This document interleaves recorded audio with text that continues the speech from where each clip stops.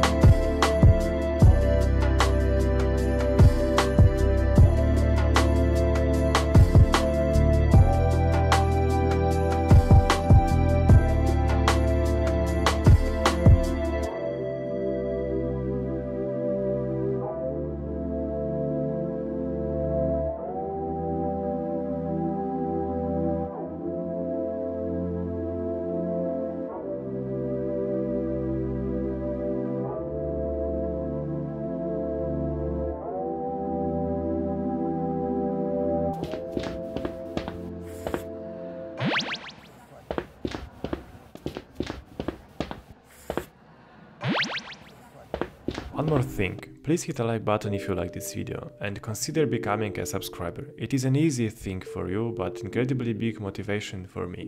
Thank you and bye!